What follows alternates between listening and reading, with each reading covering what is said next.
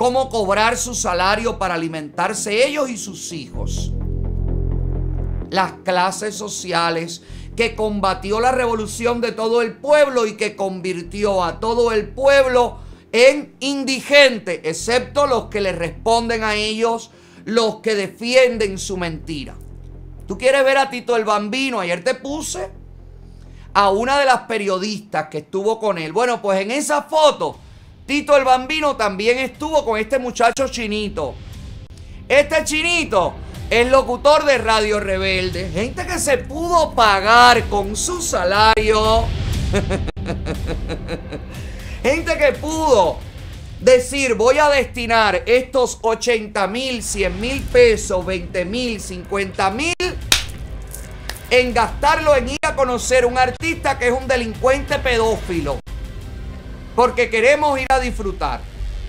Mira con quién está nuestro amiguito que se retrató con Tito el Bambino. Mira con Jaila, con el chef de la Machi.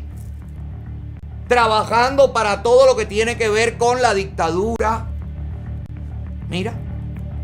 Radio Rebelde, la Asociación Hermanos ahí. Mira. Esto me imagino que sea fuera de Cuba en algún lugar. Celebrando en algún lugar. ¿Eso dónde es? ¿Es en la televisión? ¿Con la gente de la televisión?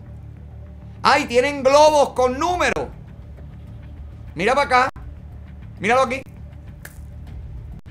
No, la gente que fue. Niña, mándale a tu primo algo. Consíguele aunque sea una caja de pollo. Está muriendo tu primo y tu tía.